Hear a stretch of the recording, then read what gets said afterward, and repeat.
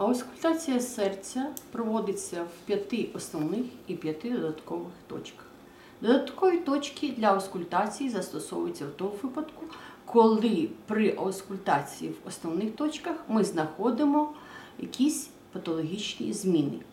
Додаткові точки існують для уточнення змін, які були е, знайдені при аускультації в основних точках. Перша основна точка аускультації це верхівка серця. На верхівці серця виходимо таким чином. Значить, спочатку ми ставимо фонендоскоп і при звичайному диханні вислуховуємо серце і зміни або е, аускультативну картину, яку ми е, чуємо без е, якихось додаткових прийомів. Далі просимо форого вдихнути і затримати. Вдихніть і затримайте дихання. Диште спокійно. Далі вдихніть і видихніть, і затримайте дихання. Вдихніть, видихніть і затримайте дихання. Диште спокійно.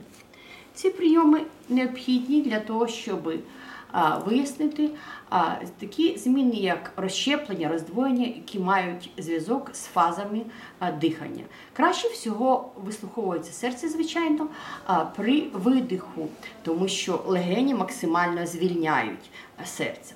Далі, після того, як ми прослухали таким чином, ми просимо фору повернутися на лівий бік. Поверніться, будь ласка, на лівий бік.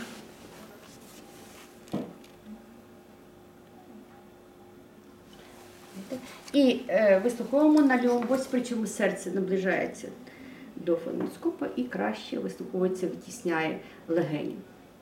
Далі, після цього ми переходимо до вислуховування і йдемо по- по колу годинникової стрілки в е, точку е, аускультації трикоспідального клапана. Друга точка аускультації знаходиться біля основи мочеподібного відростка. Це приблизно десь на рівні п'ятого ребра, ось тут прикріплення п'ятого е, правого ребра. Так, диште спокійно. Далі переходимо в третю точку аускультації. Це вислуховування а, аортального клапану, третя точка аускультації, в другому міжребір'ї біля краю грудини. В другому міжребір'ї біля краю грудини. Так, диште спокійно.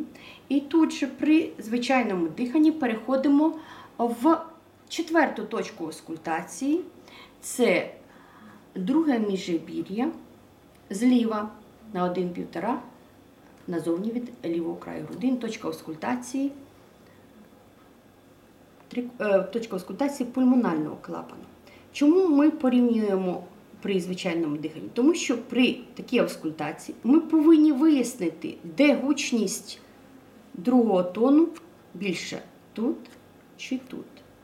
У людини після 14 років другий тон повинен бути практично однаковий з е, лівої і з правої сторони, тобто на аорті і на, е, на артерії. Якщо на аорті або на артерії пульмонаріс другий тон вислуховується гучніше, то ми говоримо про акцент другого тону. Акцент другого тону це більша гучність другого тону по відношенню до другого ж тону, але на іншій судині. Часто це плутають і порівнюють з першим тоном, що невірно.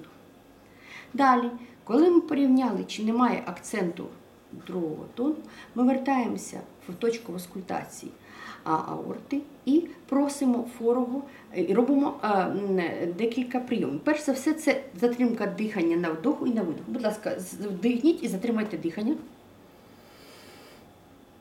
Диште спокійно. Вдих, видих і затримали дихання. Вдих, видих і затримали дихання.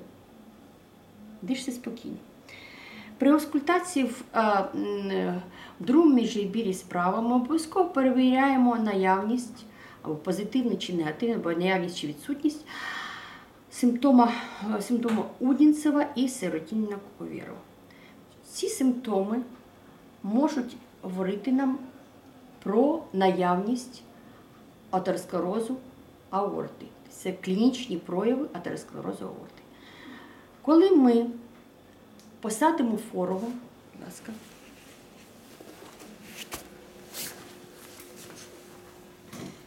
Таким чином, так? І попросимо руки за голову, будь ласка. Так. Або доверху підніміть руку. руки. Це симптом сиротіння Куковєрова. При цьому витягується до аорти. І якщо там є атеросклеротичні зміни, то посилюється або з'являється шум при вислуховуванні. Далі, будь ласка, нахиліться вперед. Зробіть глибокий вдох, видох, затримуйте. Так? Прийом або симптом Удінцева теж саме з'являється або підсилюється шум. Будь ласка, лягайте.